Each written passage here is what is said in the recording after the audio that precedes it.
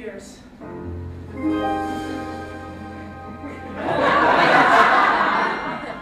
Take her hand, kiss it. Lead her onto the floor.